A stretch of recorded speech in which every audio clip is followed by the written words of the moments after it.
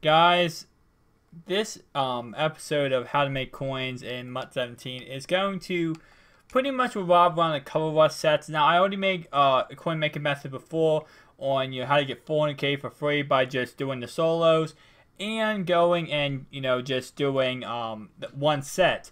Now, if you guys want to go check out the video, go check it out. I showed you how to make 400k doing just the solos and one set. So now let's get on to what do you do now? Sell everything. Okay? Now, obviously, as you guys know, if you've been watching my videos, you know I always tell you, sell all your elites, never keep elite. Obviously, all elites are going to do is fall down in price. I can't sell these elite guys, if you're wondering. I can't sell them. I can't. You can't sell Team Heroes. You can't sell a Friday night draft player that you get non-auction one tradable. You can't sell them. If you have elites, sell them. Obviously, guys, what you're going to want to do is sell all your bronzes, silvers, and golds. Those cards have gone up in prices, and the reason uh, up in price, and the reason why is because the Color Rush sets are out.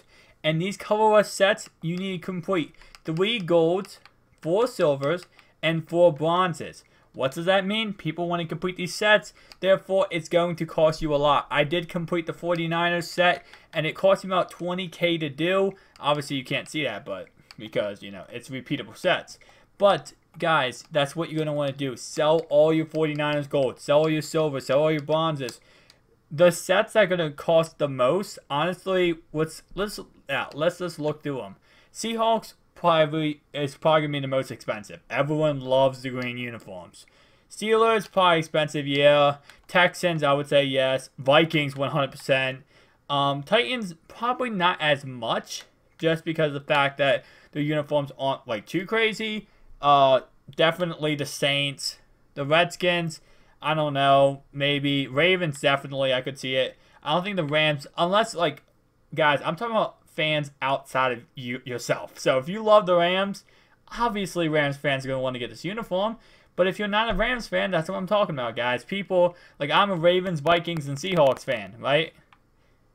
But I would honestly, I would love, I got the 49ers uniforms. I think the 49ers uniforms look one, as one of the best uniforms in this whole Color Rush program.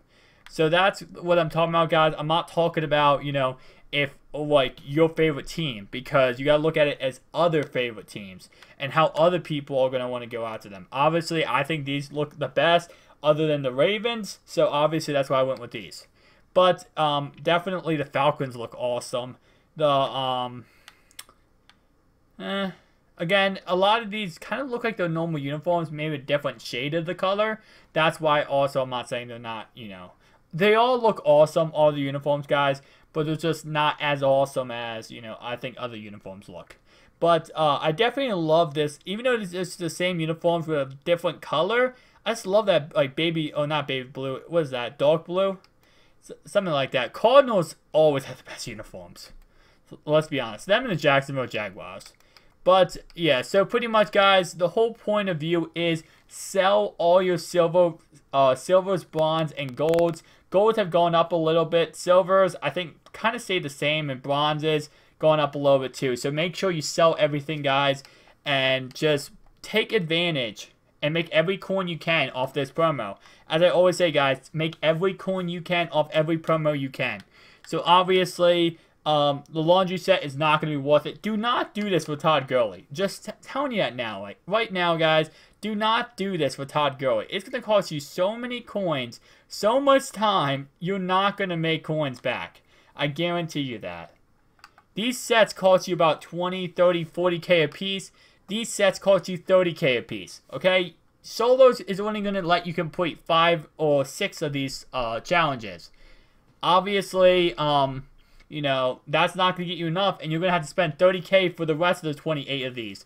Do not do these, these sets at all. Now, guys, throughout the week, new solos are going to come out. And I think Thursday, if you do all the solos and then Thursday solos, you get a free player, a free Color Rush player, and it's a random player. So obviously, guys, it's not going to be auctionable tradable. Let's be honest.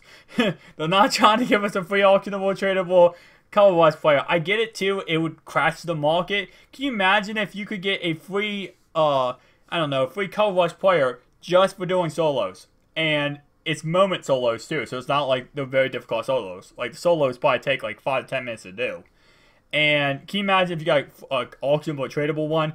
I get it. I get why because it would crash the market, but they're not going to give us auctionable tradable.